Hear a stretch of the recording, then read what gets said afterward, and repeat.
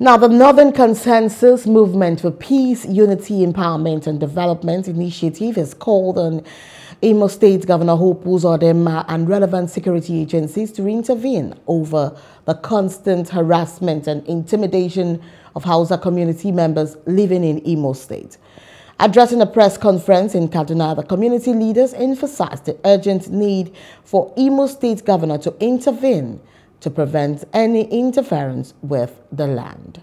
Speaking to him, try for us and interview about this matter because whatever is coming concerning northern people, we come try our best and the state. yes for the state and we. So we are pleading to our governor, governor for all, for him to enter this matter. Two complaints were appealing to government to continue intervening the matter because we don't want something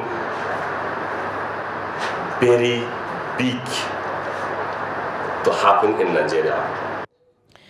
In the face of national economic hardship, the president of the Northern Consensus Movement, Awal Abdullahi, says now is not the time for irrelevant issues. The agencies, the government and security agencies like I said, quickly intervene into this matter because right now people are hungry. People are, are, are, are they said a hungry man is an angry man. So as people are hungry, they are equally hung, uh, angry. There's poverty, there's this, uh, this, this, this unity.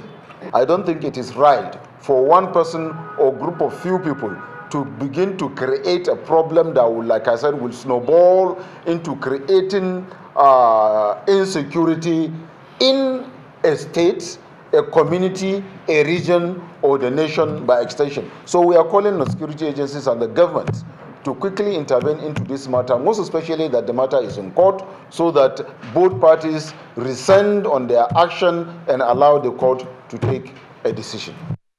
This motion is an amalgamation of 594 registered community-based, socio-cultural and economically inclined grassroots associations from 19 northern states and associations of northerners residing in the 17 southern states.